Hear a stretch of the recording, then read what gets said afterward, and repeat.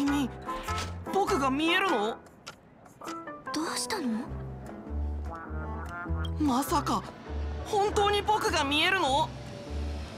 チクターク！よかった！本当によかった！これでミーシャが助かる！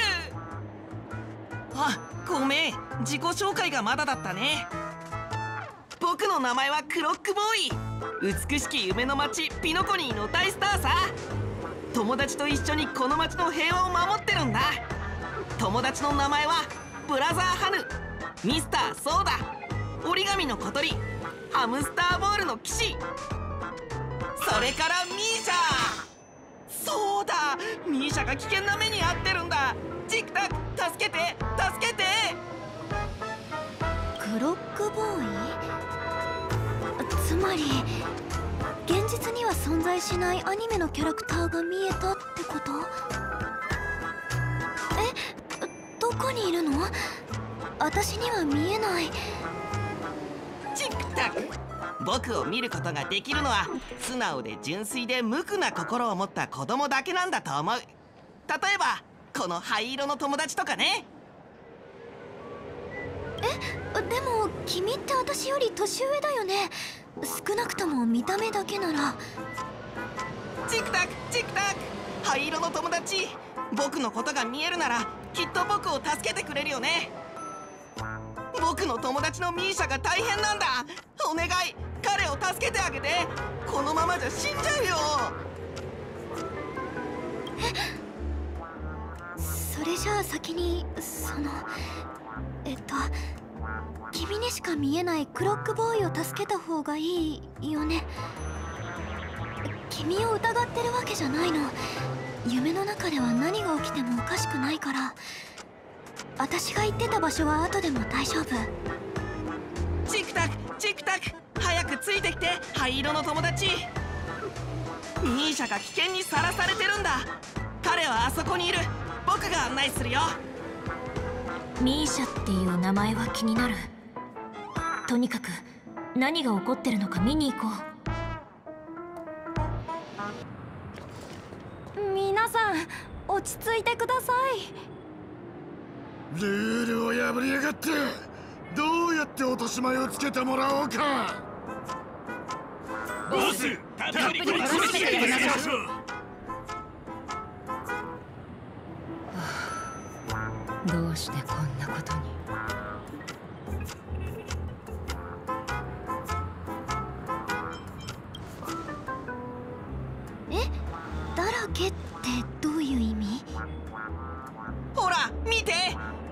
嘘なんかついてなかったでしょ？本当にミーシャが危険にさらされてるんだ。また会いましたねお客様。あなたが僕たちを助けてくれたんですか？えミーシャこの灰色の友達を知ってるの？彼女は大切なお客様で最近お友達になったんです。あなたにも話したと思うんですけど覚えてませんか？ああれって彼女のことだったのか。とにかくありがとうございました。あなたが駆けつけてくれなかったらここは大混乱になっていたことでしょう。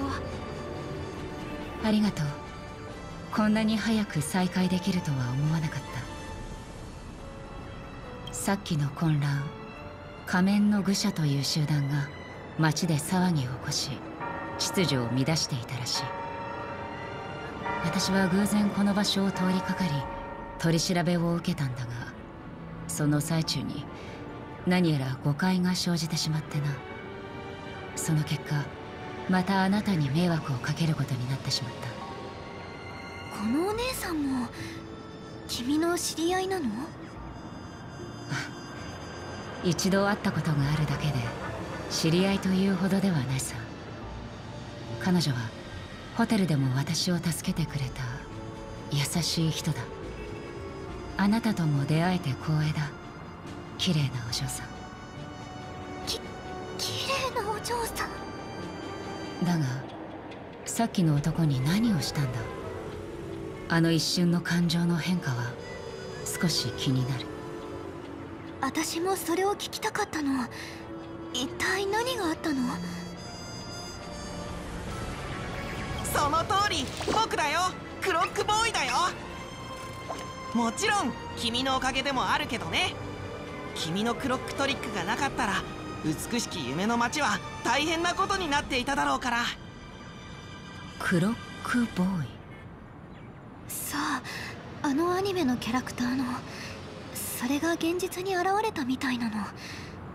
つまり無境の中にね。私もあんまり状況が分かってないんだけど彼女が言うには素直で純粋で無垢な心を持つ子供にしか見えないんだって。私も子供と言える年齢は超えてしまっているようだな。だがそのクロックボーイが本当に存在するなら多くのことに説明がつく。え君にも僕が見えるの？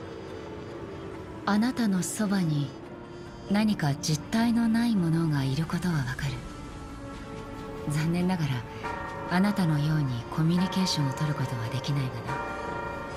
私たちは臆室に多少なりとも反応することでこの夢の中の不思議なものを感知できるのかもしれない。あなたはきっとその感覚が私よりも鋭いんだろう。最初はあの上品なメモキーパーがあなたの頭の中に何か残したんじゃないかと思っていたが改めて考えてみるとこの夢の中には彼女のような特別な存在が少なくないようだ。あなたと別れてからほどなくして私は偶然舞踏会の会場に迷い込んでしまい黒いベールをまとった女性にダンスに誘われたんだ。踊るのは初めてだったが忘れられない経験になった。ただ彼女に名前を聞くのを忘れてしまってな。ガーデン・オブ・リコレクションから来たことだけは分かっているんだガーデン・オブ・リコレクション？記憶のアイオンに仕える人たちのこと？がああ。彼らはミームの形で世界を巡り特定の人の前にだけ現れるあなたの言っているクロックボーイと似ていると思わないか？ファミリーの宴だけあって招待された客は私たちが想像しているよりもずっと多いのかもしれない。とにかくまたしても世話になったな。私は二人のデートを邪魔するつもりはない。どうか夢の中で楽しい時間を過ごしてくれ。でデートじゃないから。着いた。ここだよ。ううん。そうじゃなくて。こっち。うん。秘密のアジトは中にあるの。文字通りの意味だよ。先にお手本を見せてあげるね。最初はちょっと暗いと思うけど離れないようについてきて。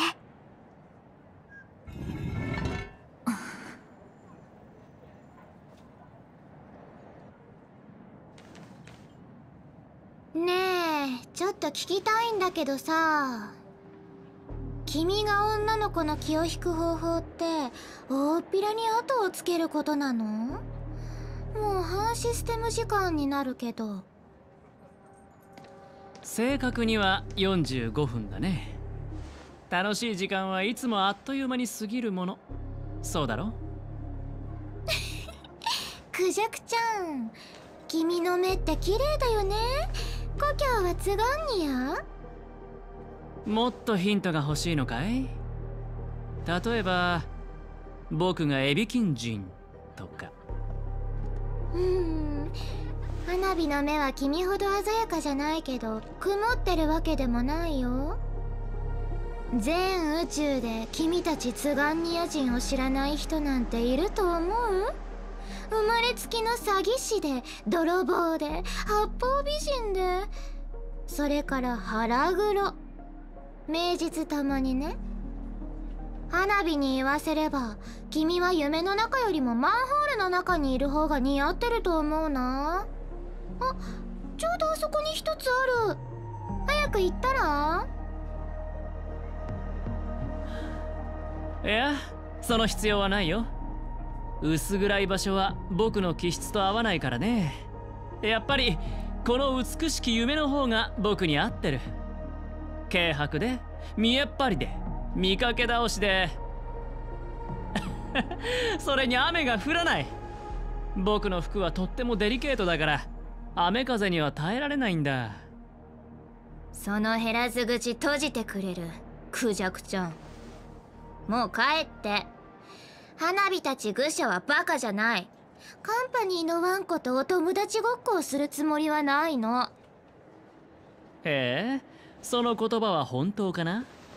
君はカンパニーの人間と友達になったことがないのかい？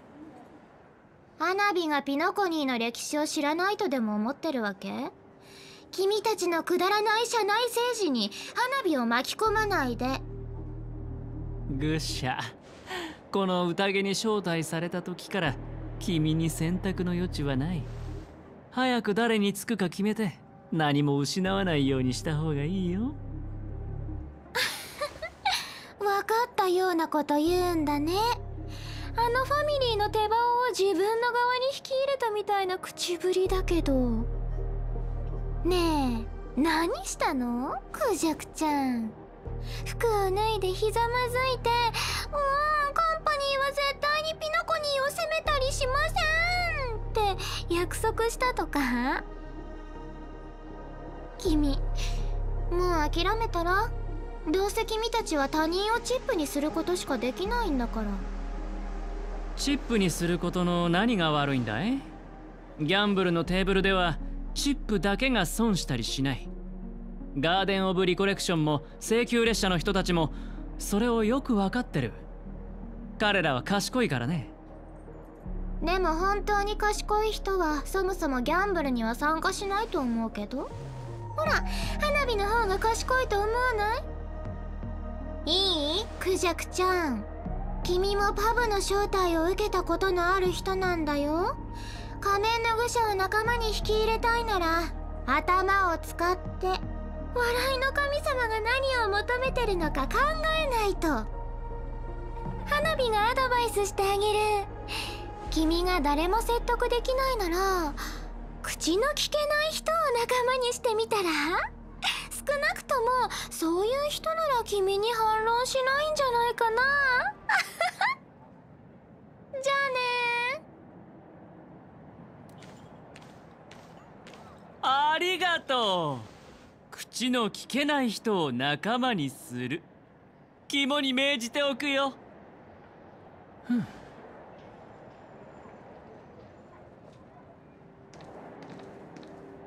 本当に面倒だな。どうやらまたファミリーに会わないといけないみたいだ。見て綺麗な場所でしょ。観光客は本来ここに来ることが許されないの。私たちも他の人に見つからないように気をつけないと。でも心配しないで。別に危険地帯ってわけじゃないから。ここは黄金の時の教会だと思ってくれればいいよ。もっと外の無境に行くと今もファミリーが建設や改装をしてるの。私の秘密のアジトはこの中にあるんだ。ほらあそこ。色とりどりの美しい夢そのものみたいに永遠にまばゆい光を放ってるの。あの光を浴びてる人はとそのぬくもりに引き寄せられるんだろうな。まるで火を追いかける無数のホタルみたいに。行こう。まだ半分くらい道のりが残ってるんだ。この歌知ってる？傷つく誰かの心を守ることができたなら。あのロビンの曲だよ。もうすぐ調和セレモニーだから無境の中でも時々彼女の曲が演奏されるの。ここは夢の中の空に一番近い場所で街の喧騒から離れていてドリームメーカーの言い争いもない。誰にも邪魔されることなく今の風景人そして夢を感じられる。なんて綺麗なんだろう。時間が永遠に黄金の時にとどまって金色の夢になってる。パブの愚者やガーデンのメモキーパー放浪する巡回レンジャーカンパニーの使者請求列車の七死人それから私。ここでは理由に関係なく誰もが平等に眠りにつく。それぞれの目的はあるだろうけど。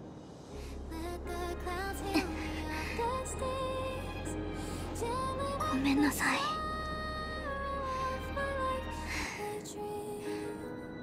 本当は私は密航者なの。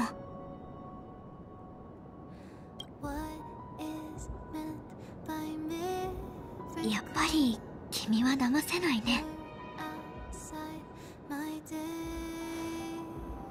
私の故郷はとっくの昔に滅びてるの。レギオンの仕業かもしれないしスオームのせいかもしれない。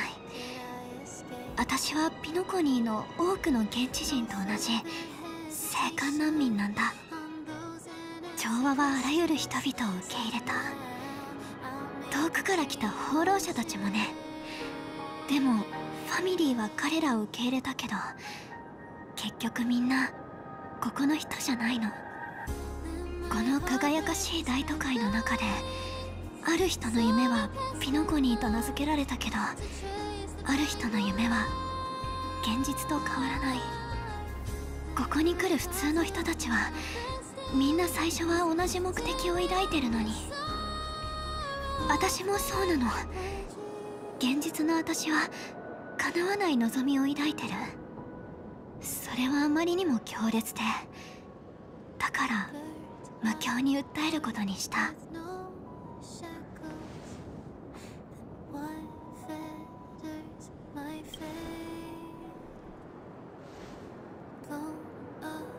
ロストエントロピー症候群。この言葉を聞いたことはある。奇妙な現象なの。この病気にかかった人は物理構造が不可逆的な慢性乖離に陥る。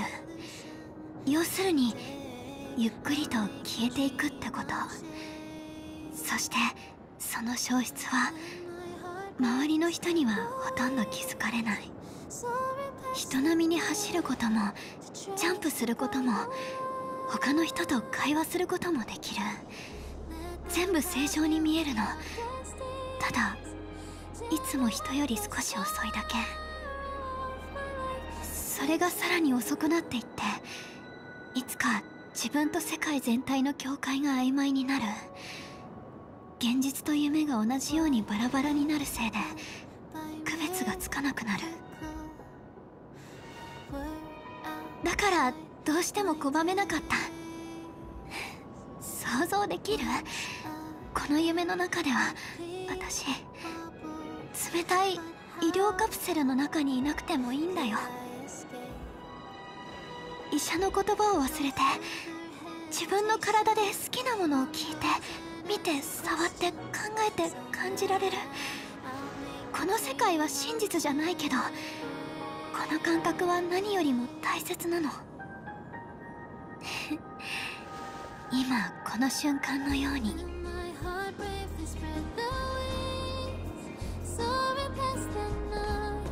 なさい。ちょっと事情があって。まだ全部は打ち明けられないの。でも君に正直に伝えたいこともある。時計屋の遺産は確かに私が追い求めてるものだけど。だからといってそれをめぐって私たちが対立する必要なんてない。少なくとも私はそんなこと望んでない。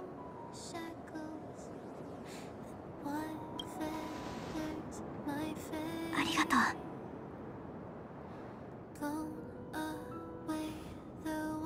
焦土の夢を見た。一本の新芽が土を突き破り朝日に向かって咲き誇る。そして私にささやくの。招待状の質問を覚えてる？生命体はなぜ眠るのか。見て。この夢の地では全てが許されあらゆる可能性がある。振り返りたくない過去は泡のように消えて向き合いたくない明日は永遠に訪れない。人々はなぜ眠ることを選んだのか。私はね夢から覚めるのが怖いからだと思う。なんだか重苦しい雰囲気になっちゃったね。ごめんなさい。こんなはずじゃなかったんだけど。うーん。どうすれば空気を変えられるかな。そうだ。君は列車に友達がたくさんいるんだよね。こういう状況になった時っていつもどうしてるの？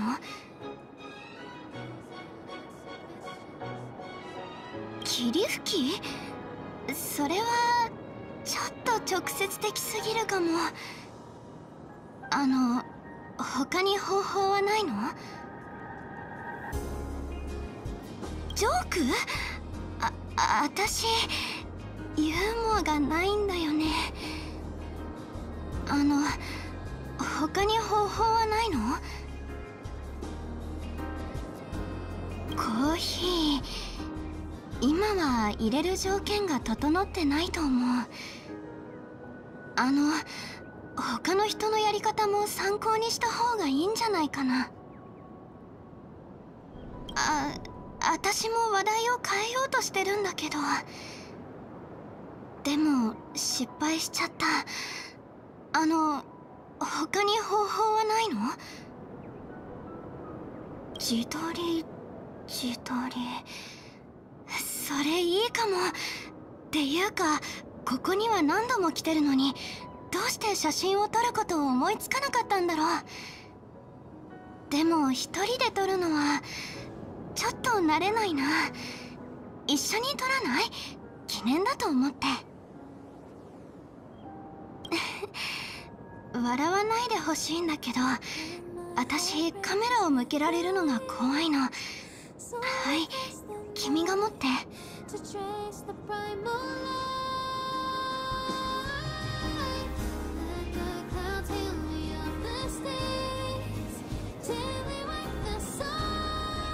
ちょっと待ってね。準備するから。よし撮ろう。1 2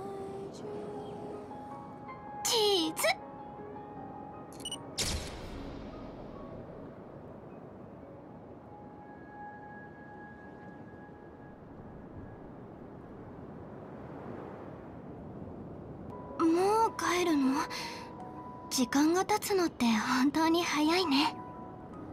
私も現実世界に戻って休もうと思ってるの。行こう。黄金の時でお別れしよう。